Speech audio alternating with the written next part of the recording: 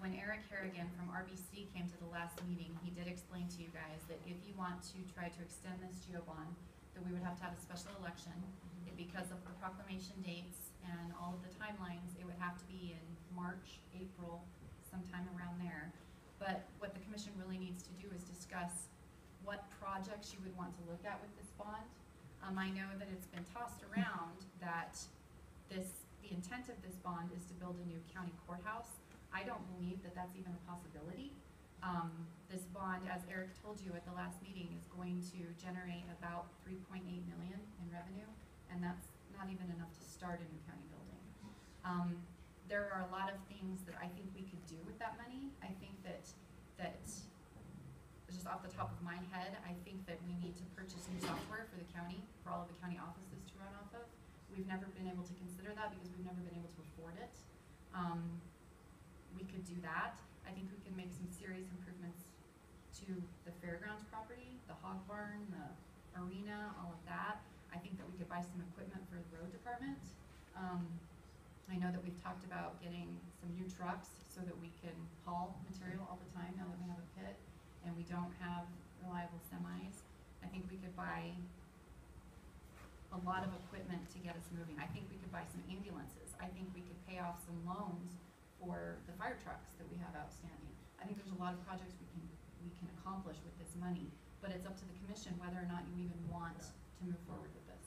Uh, on that, uh, on that case, uh, uh, one of, one of my concerns, yeah, about this money is, is if we, if we do put it up to the public and they do approve it, uh, one of my concerns is the road department is sitting here in the middle of the town of Estancia.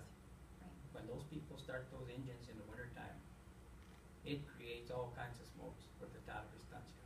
Uh, I think the town of Estancia would applaud if we would, uh, put something in there that we could make a building for them to be out of the city limits.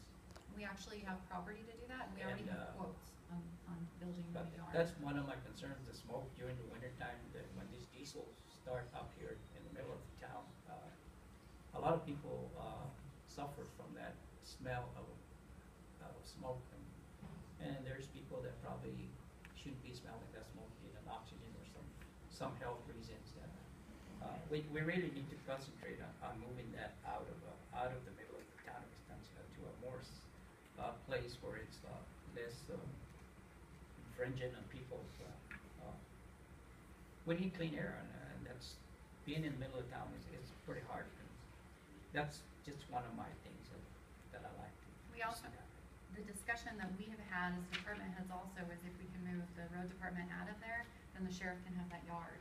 And all of his vehicles and equipment can be locked in that yard in the shop, and they have a, a mechanic shop and everything else.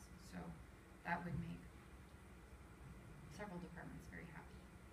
But, but those are all projects that, that we deal with. A lot of them we can't even look at because we don't have the funding. The, if, if we did go for this bond, it would generate Right. enough revenue, we could accomplish a lot of that at once.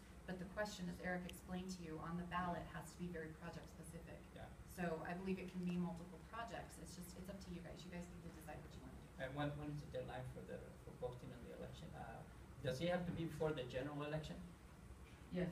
The special Before the election, primary, yeah. the special election would have to be in March or April April. to meet the proclamation timelines. I would prefer April first. Okay, that would be for the primary. Elections in March. April, the first of April would be good for me. But- And it's within the limits of the guidelines, the timelines.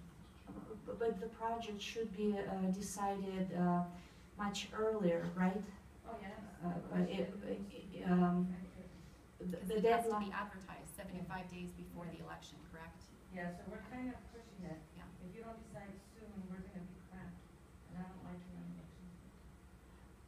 So if we, uh, were to continue the bond issue at the rate it is, we would gather three point eight million Approximately, yes. over, wha- over how long? Well, we get that three point eight million right now, because the bonds, as soon as the bonds sell, and then we pay off those bonds over the course of years to come. How So- many years?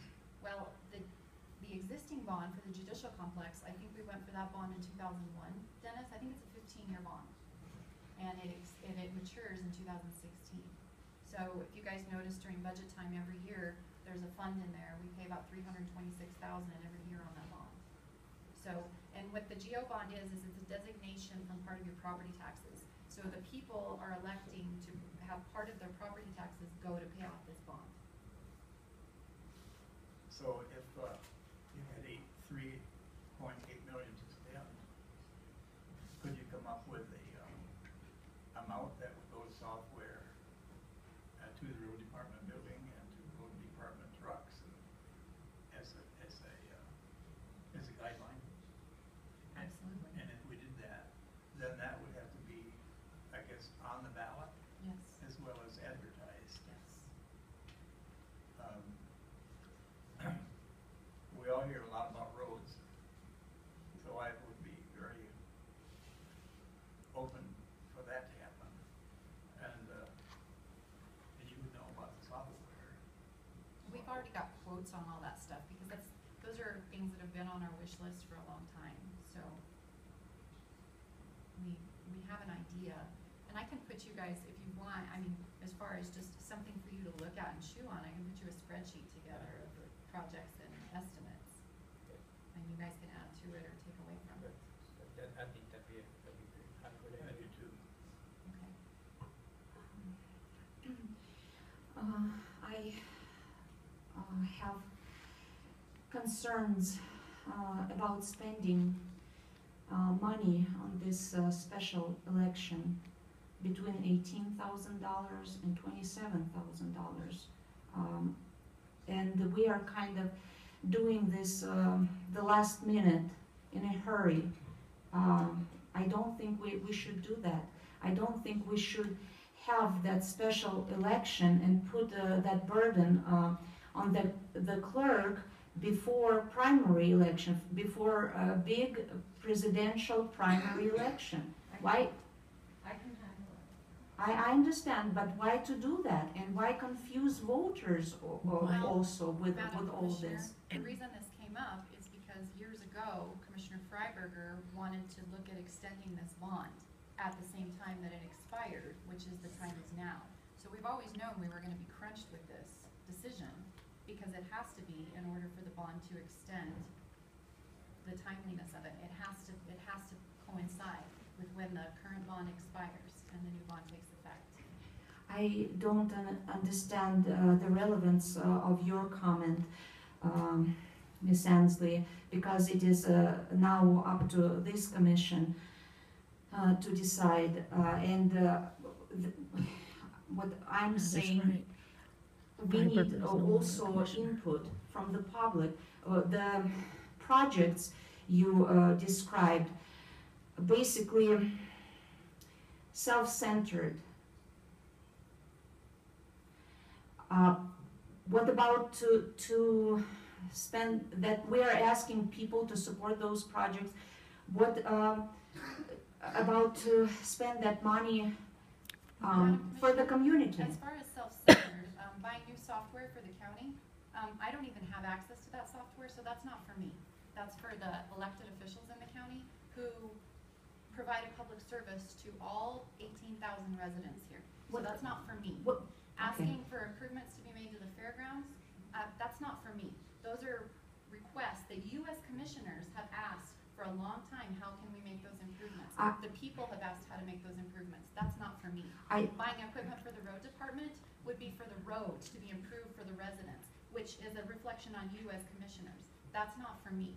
Building a road department, for the road department to get out of the town of Estancia, that's not for me. I don't want my road department away from here, but that would help the town, it would help the sheriff, it would help the road department, and therefore help the citizens. So that's not being self-centered. Those are things that would help the county and the residents, and the elected officials, and the commissioners.